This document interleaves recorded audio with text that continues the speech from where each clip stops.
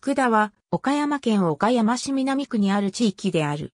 かつての筑保郡福田村に相当する。1971年3月8日に岡山市に編入合併した。本校では筑保郡福田村についても述べる。なお、同市南区内には大技の福田が存在しているが、当地区とは別になる。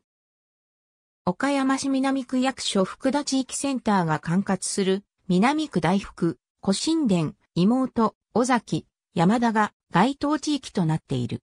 かつては、筑保郡福田村であったが、1971年3月8日に岡山市へ編入合併された。なお、福田の名称は、福田村合併前に存在した大福村、山田村から一時ずつ取ってつなぎ合わせた合成地名である。地区内を国道2号、県道21号が通る近年は急速に宅地開発が続き、市南西部郊外のベッドタウンとなっている。地区の大部分は平地となっているが、南西部の瀬尾と接するあたりは丘陵地となっている。北部の北区木人の境界を足森川が流れ、北東部で笹ヶ瀬川と合流している。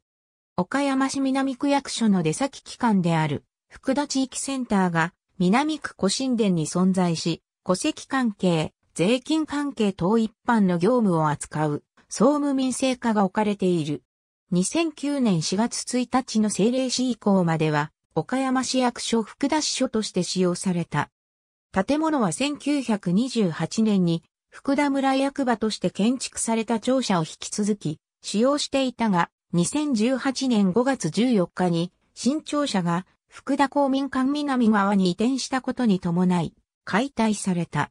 福田村に関するカテゴリー。ありがとうございます。